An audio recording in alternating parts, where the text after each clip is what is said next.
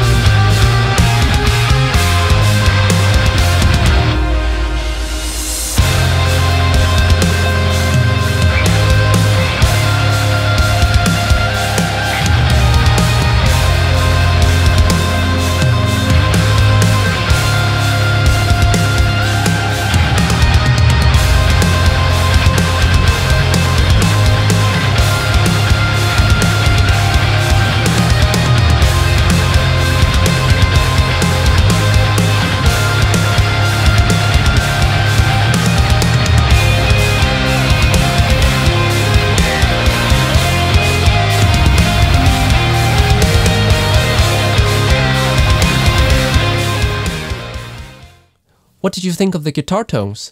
Let me know in the comments, I would love to hear your thoughts. I want to say a quick thank you to STL Tones for sending me the update beforehand so I had time to test it and make this video. I also want to thank Johnny Fitzgerald and Jeremiah Funke for allowing me to feature their incredible music. This tune is so awesome and so fun to mix with. My first impression of the Krater Dimed Plus amp was, wow, this is some good stuff right here. The distortion quality is amazing. As far as I, I could tell, it's completely void of any digital fizz and the plasticky sounding quality, which is still commonly found in some AmpSims nowadays to a certain extent. Here, just take a listen to the rhythm tone I used for the demo without any post-processing.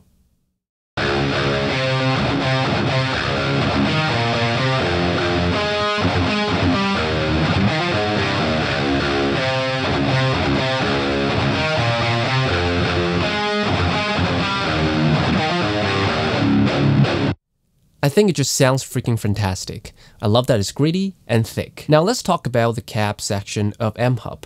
Unless I'm mistaken, I don't think there's a matched cabinet for uh, the Krater Dimed Plus amplifier, which is totally fine because we've got ourselves here a really user-friendly and powerful ca uh, cab module with two IR loaders.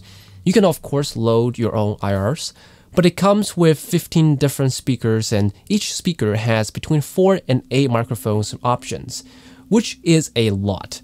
You also have to remember that more gear is continuously being added to uh, on a monthly basis as well. You can tweak the microphone placement on three axes and angle the microphone uh, with the built-in IR as well, which is what I always prefer over not being able to do that, assuming that the interpolation algorithm is good. My favorite feature of AmpHub's cab module is the parallel mix slider. Now, I also use NeuroDSP's AmpSims, and I always hate that the overall volume changes as soon as you make one of the microphones louder or quieter.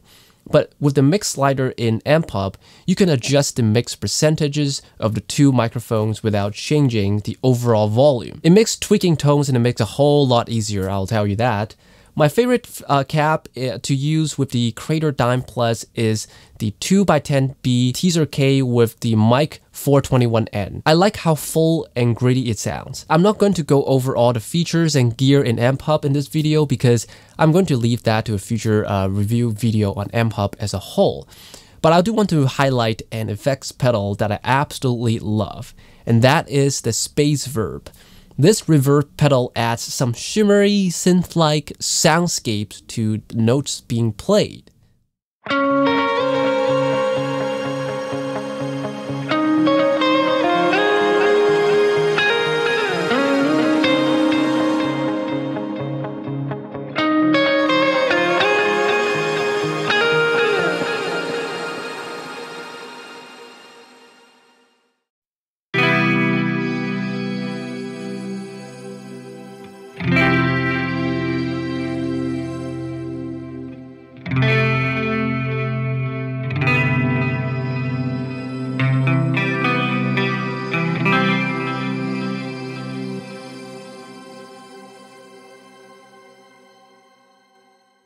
This is absolutely fantastic to use for distorted or clean leads in empty sections of a song or just to add some background textures that fills in the uh, mix a little bit. Let me show you how I used it in the demo you just heard and a song I recently mixed and mastered for a band in Asia.